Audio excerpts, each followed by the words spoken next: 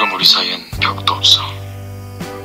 내 눈앞에 그대가 있고, 그대 눈앞에 내가 있지.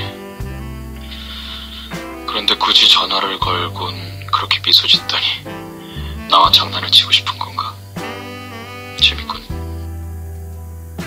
아무리 그렇게 장난을 쳐도 난 여기서 움직이지 않을 거야.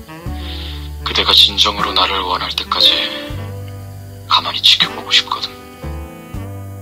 그대의 그런 표정을 보는 게 좋아.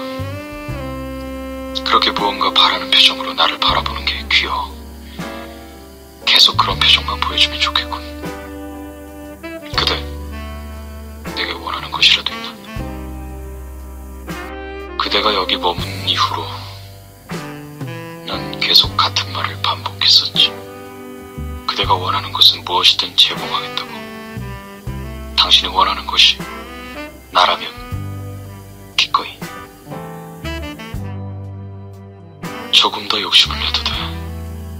조금이 아니라 그것보다 훨씬 더. 내게 더 많은 것을 요구해도 돼.